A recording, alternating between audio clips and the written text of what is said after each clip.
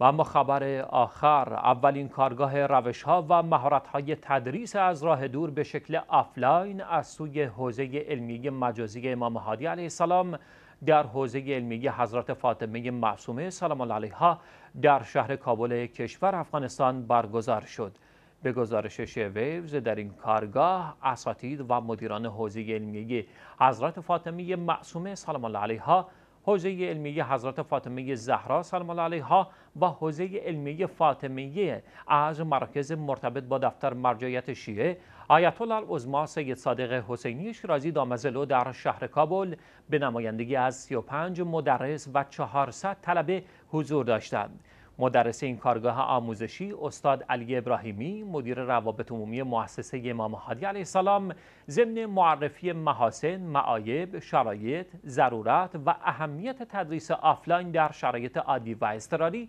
روش ها و مهارت های تدریس مجازی را برای حاضران بیان کرد. وی همچنین راهکارهای ارزیابی و نظارت آموزشی در این سیستم را نیز برای شرکت کنندگان در این کارگاه آموزشی تبیین نمود. در پایان این کارگاه نیز مقرر شد ضبط و ایجاد آرشیو تدریس مجازی با گزینش اساتید ممتاز آغاز شود.